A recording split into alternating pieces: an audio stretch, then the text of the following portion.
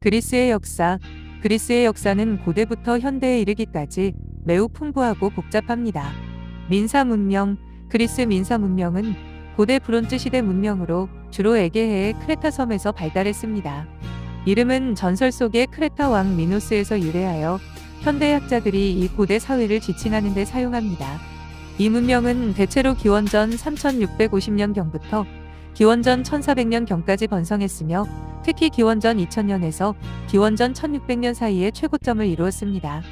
미노아 문명은 갑작스러운 거대한 해양 무역 네트워크의 출현, 복잡한 다층 구조의 palace, 궁전, 경제, 상징적인 문자 체계인 Linear A의 사용, 고도로 발달된 예술과 건축 기술로 잘 알려져 있습니다.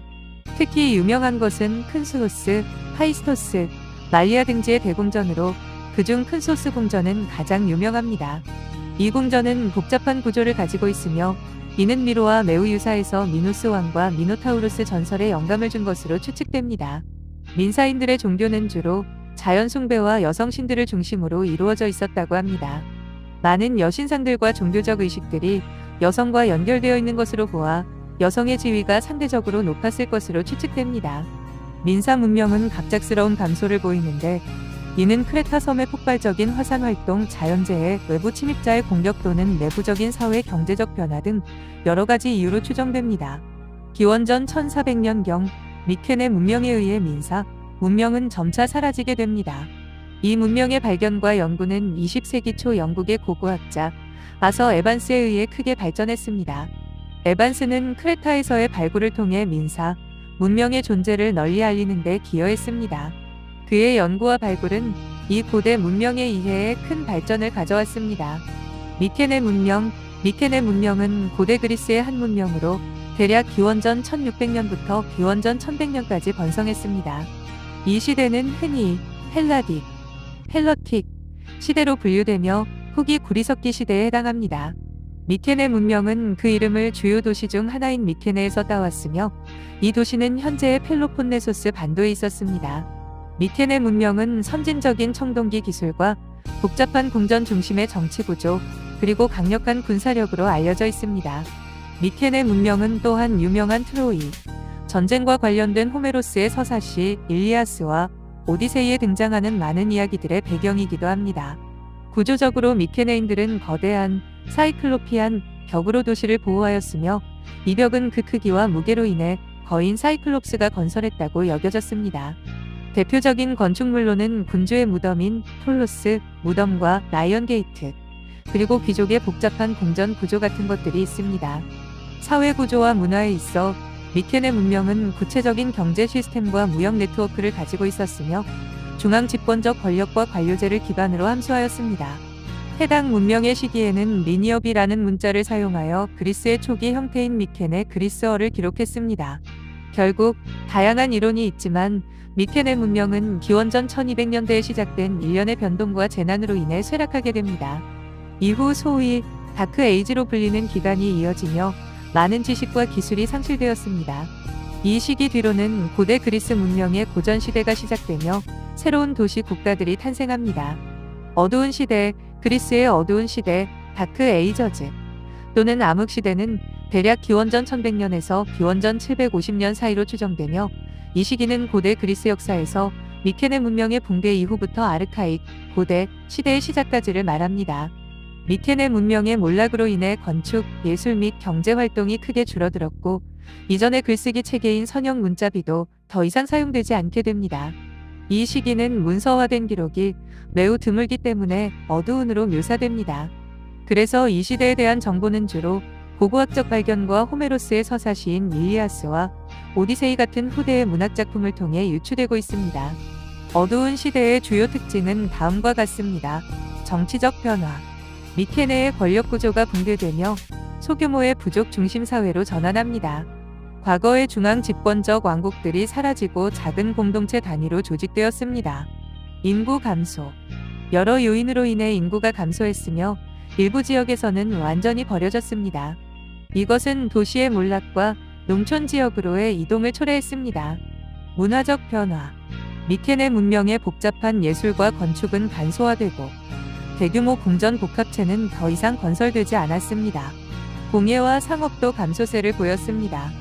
외부 침입 도리아인들의 이동은 이 시기에 대한 한 가지 설명으로 남쪽에서 북부 그리스로 이동한 새로운 인구 집단이 있었다는 가정입니다.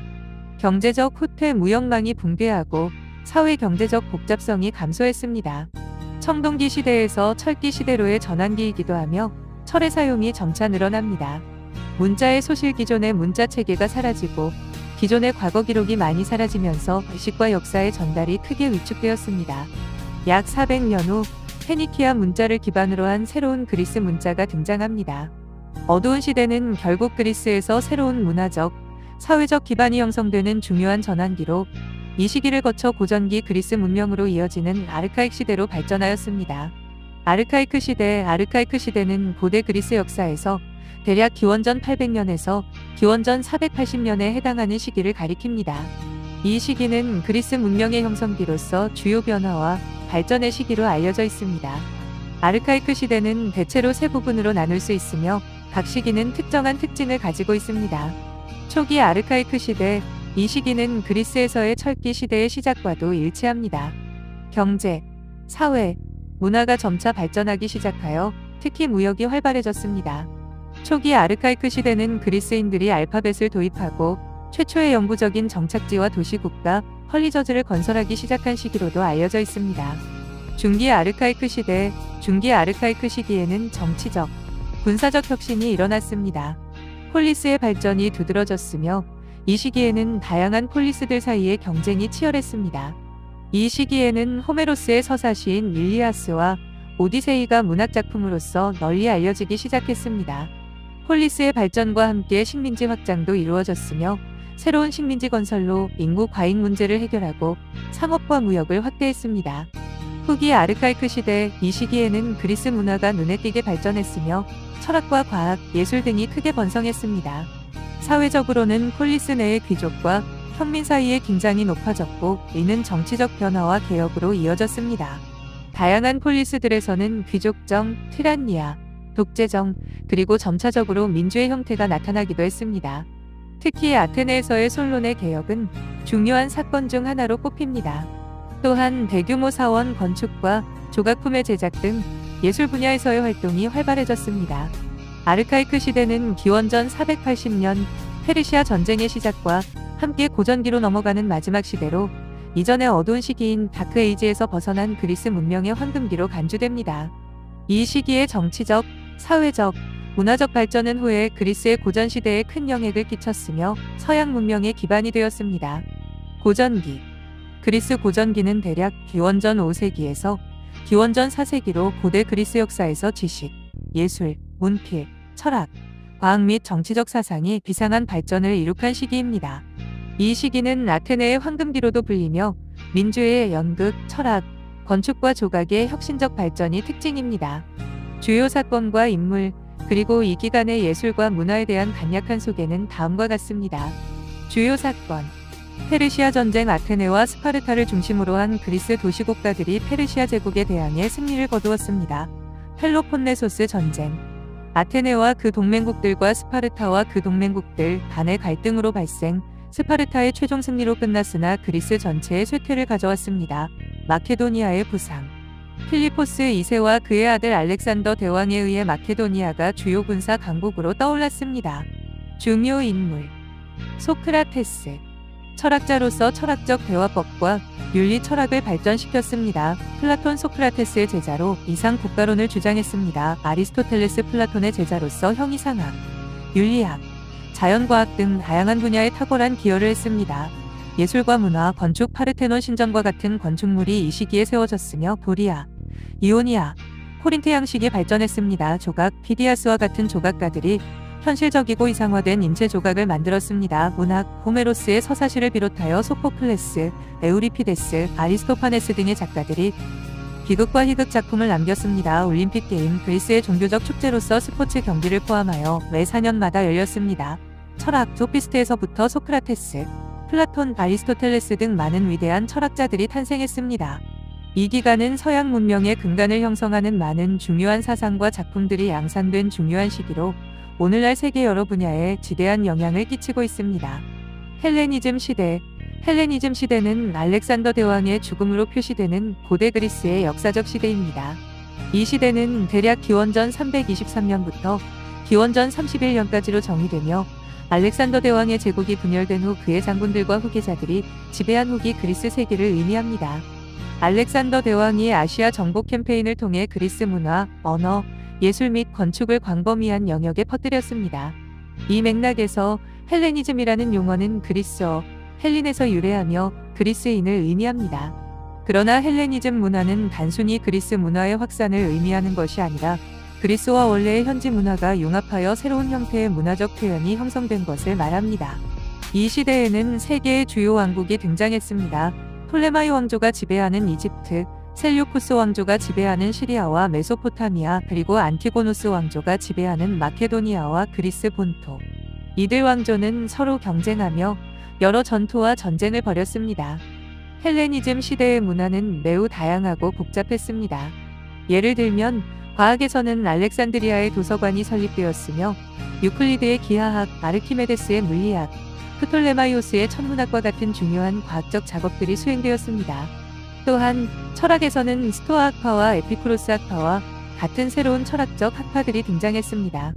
헬레니즘 문화의 예술은 또한 기념비적인 건축 및 조각에 있어 뛰어난 기술과 표현력을 보여줍니다. 예를 들어 기원전 2세기의 라우코온상은 헬레니즘 예술의 복잡성과 감정적 강도를 보여주는 예입니다. 이 시대는 기원전 31년 옥타비아누스 후에 아우구스투스 황제가 알렉산드리아의 전투에서 클레오파트라와 마르크 안토니우스를 패배시키면서 로마 제국에 합병되기까지 지속됩니다.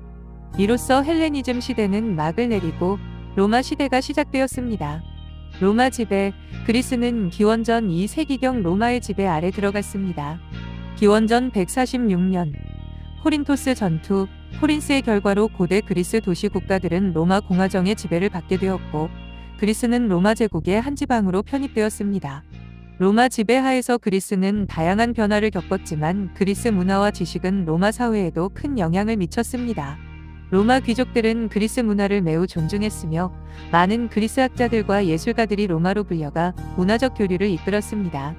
로마는 그리스의 교육 시스템, 종교, 철학, 과학, 예술 및 건축물들을 포함한 여러 영역에서 크게 받아들이고 이를 자신들의 것으로 적용했습니다. 특히 그리스 건축 양식은 로마 건축에 중요한 영향을 미쳤고 많은 로마 건축물들은 그리스의 비례와 양식을 모방한 것이 많습니다. 또한 그리스의 신화와 종교적 신념은 로마 신화와 융합되고 변형되어 로마 사회 전반에 걸쳐 퍼져나갔습니다. 로마인들은 그리스의 신들을 인정하고 로마 신화 속에 흡수시켜 새로운 형태의 종교적 신념을 형성했습니다. 이 시기 동안 그리스는 경제적으로 많은 변화를 겪었으며 노예화, 땅의 황폐와 상업과 산업의 감소 등 다양한 사회적, 문화적 도전에 직면했습니다. 그럼에도 불구하고 그리스 문화와 철학은 이후의 비잔틴 제국 시대와 유럽 르네상스를 거쳐 그 영향을 지속적으로 미치는 등 역사적으로 굉장히 중요한 역할을 계속하였습니다. 로마 제국의 일부로서 그리스 지역은 결국 동로마 제국인 비잔틴 제국의 중심이 되었으며 이는 1453년 콘스탄티노플의 함락과 오스만 제국의 상승으로 종말을 구하게 됩니다. 비잔틴 시대 그리스의 비잔틴 시대는 330년 콘스탄틴 대제가 비잔티움을 재건하여 콘스탄티노플로 개명하고 로마 제국의 수도로 삼은 때부터 시작됩니다. 이 기간은 서로마 제국이 몰락한 476년부터 1453년 콘스탄티노플이 오스만 튀르크에게 함락될 때까지 지속되었습니다. 비잔틴 제국은 초기에 로마 제국의 전통과 제도를 계승하면서 동서 문명의 교차점으로 장대한 문화와 예술, 건축 및 법의 발전을 이루었습니다. 특히 유명한 것은 비잔틴 미술과 건축으로 대표적으로는 하이아 소피아 대성당 같은 건축물이 있습니다. 이 성당은 오늘날에도 콘스탄티노플, 현재의 이스탄불의 스카이라인을 지배하며 비잔틴 건축의 대표작으로 평가받습니다. 비잔틴 제국은 또한 그리스도교 정교회의 중심지였으며 종교 문화와 예식은 이 지역의 정체성 형성에 큰 영향을 미쳤습니다. 중세 유럽 문화와 러시아, 발칸반도, 중동에까지 걸쳐 그 영향력은 지대했습니다. 비잔틴 제국은 많은 외적인 위협을 받으며 서서히 영토를 잃어갔고 결국에는 1453년에 메흐메트 2세에 의해서 최후의 수도 콘스탄티노플이 함락되었습니다. 이로써 거의 천년간 지속되었던 비잔틴 제국의 역사는 막을 내리게 되었지만 그들의 문화적 유산은 오늘날까지도 중요한 영향을 끼치고 있습니다. 오스만 지배 그리스는 대략 1453년 콘스탄티노플이 오스만 제국에 의해 점령된 이후 19세기 초반까지 약 400년간 오스만 터키의 지배를 받았습니다. 이 시대를 그리스 역사에서는 터키가 혹은 오스만 지배 시기라고 부릅니다. 오스만 제국은 비잔틴 제국의 뒤를 이어 동부 지중해와 발칸 반도를 지배한 이슬람 국가였습니다. 오스만 제국의 지배하에 그리스는 여러 가지 중대한 변화를 겪었습니다. 종교적으로 오스만 제국은 이슬람교국이었지만 그리스 정교회는 상당한 자율성을 유지했습니다. 사회 경제적으로 그리스인들은 종종 높은 세금을 지불해야 했으며 그들의 토지와 자원은 종종 오스만 군주나 지방 행정관에 의해 착취됐습니다. 또한 일리시스나 데브시르메와 같은 일부 정책은 그리스인 가정에서 젊은 남성들을 끌어내어 오스만 군대에서 복무하게 했거나 행정관리로 훈련시켰습니다. 1470년부터 오스만은 그리스 대부분의 섬을 차례로 점령했고 크레타는 더 오래 지속된 베네치아의 저항 끝에 1669년에 오스만의 손에 넘어갔습니다. 이 집에는 경제적으로 발칸 반도의 일부 지역을 이득을 보는 경우도 있었지만 많은 그리스인들에게는 엄격한 조세와 사회적, 문화적 압력을 의미했습니다. 1821년부터 1829년까지 그리스 독립전쟁이 벌어졌고 이는 그리스가 오스만 제국의 지배에서 벗어나 독립국가를 성립할 수 있는 계기를 마련해 주었습니다. 전쟁은 유럽의 여러 강대국들의 지원을 받았고 예를 들어 영국, 프랑스, 러시아는 나바리노 해전에서 오스만 이집트 함대를 격파했습니다. 최종적으로 1830년 런던 회의에서 그리스의 독립이 인정되었고 그로부터 몇 년 후에 새로운 그리스 왕국이 성립되었습니다. 오스만 시대는 그리스 역사에서 영향력이 컸던 시기로 현대 그리스 국민의 정체성과 민족주의 형성에 크게 기여했습니다. 그리스 독립전쟁 그리스 독립전쟁은 1821년부터 1830년까지 오스만 제국으로부터 그리스의 독립을 쟁취하기 위해 벌어진 일련의 반란과 전투를 일컫습니다. 그리스인들은 약 400년 동안의 오스만 통치하에 있었으며 정치적, 경제적, 종교적 압제에 대한 반응으로 봉기하였습니다. 전쟁은 이 일레이아의 목사인 파파 플레서스가 선언한 반란에 의해서 시작되었습니다. 초기 그리스 반란군은 오스만 제국의 군대에 비해 잘 조직되지 않았고 장비도 부족했지만 그들은 매우 결연한 저항을 보여주었습니다. 전쟁의 주요 전투는 발칸 반도 남부와 펠로폰네소스 반도에서 일어났으며 레게 해제도와 크레타 섬에서의 해상 전투도 중요한 부분을 차지했습니다. 독립전쟁은 여러 국면을 거쳤고 여러 내부 분쟁과 함께 오스만 제국과 이집트 그리고 유럽 국가들 간의 외교적 갈등도 포함하고 있었습니다. 결정적인 순간은 1827년 나바리노 해전에서 영국, 프랑스, 러시아 연합 함대가 오스만 및 이집트 연합 함대를 파괴한 사건이었습니다. 이 승리 이후 유럽 강대국들의 지지가 확산되었고 결국 1830년 런던에서 조인된 조약을 통해 그리스의 독립이 인정되었습니다. 그리스 독립전쟁은 현대 그리스 국가의 탄생뿐만 아니라 서유럽의 로맨틱주의 운동에 큰 영감을 주었고 유럽 내 민족주의 운동의 일환으로도 볼 수 있습니다. 이 전쟁을 통해 서유럽 국가들은 발칸반도에 대한 자신의 영향력을 확대할 수 있는 계기를 마련하기도 했습니다. 20세기점 20세기 그리스의 역사는 도전적인 사건들과 변화의 시기로 표시됩니다. 아래의 그리스의 20세기 역사의 주요 시대와 사건들을 간략히 소개합니다. 발칸 전쟁들 그리스는 세르비아, 불가리아, 몬테네그로와 동맹을 맺고 오스만 제국에 대항하여 발칸 반도의 영토를 다시 확장했습니다. 제1차 세계대전 그리스는 전쟁의 많은 부분을 중립을 유지했지만 왕과 정부 사이의 내부 갈등 후에 연합국의 편에 섰습니다. 우사시아 재앙 그리스와 터키 사이의 전쟁에서 그리스군은 대패하였으며 이로 인해 대규모 그리스인 인구의 이조와 교환으로 이어졌습니다. 2차 그리스 터키 전쟁과 인구 교환 그리스는 소아시아에서 큰 영토를 장악하려고 시도했으나 1922년 터키에 패배하였고 이로 인해 양국 간의 대규모 인구 교환을 초래하였습니다. 대공황 전 세계적인 경제 침체는 그리스 경제에 심각한 타격을 입혔습니다. 4월 군정 이오아니스 메탁사스는 군사적 지원을 받아 권력을 장악하고 권위주의적인 체제를 수립했습니다. 제2차 세계대전 이탈리아의 침공을 받았으나 처음에는 성공적으로 방어했습니다. 그러나 나중에 독일과 이탈리아의 공격으로 점령당했고 이로 인한 기근과 저항운동으로 많은 민간인들이 목숨을 잃었습니다. 그리스 내전 제2차 세계대전 후 반항정 공산주의와 친왕정 정부 지지자들 간의 충돌로 내전이 발발했습니다. 미국의 지원을 받은 정부군이 승리했습니다. 군사 독재 군사 정권은 민주적 절차를 중단하고 많은 반대자들을 체포하고 고문했습니다. 메타폴리테프시스 민주화 후 기간으로 그리스는 왕정을 폐지하고 공화국을 선포했습니다. 1981년 그리스는 유럽 경제 공동체 EEC, 오늘날의 유럽연합, EU에 가입했습니다. 20세기 그리스의 사회적, 경제적 개혁, 내부 및 국제 정치적 도전들은 오늘날의 현대 그리스를 형성하는 대중대한 영향을 끼쳤습니다. 20세기 후반에는 경제 성장과 국제 무대에서 그리스의 영향력이 증가하는 모습을 보였습니다. 그리스의 역사는 각 시대마다 독특한 문화와 사회, 정치 구조를 발전시켰으며 서양 문명의 발전에 중요한 기여를 했습니다.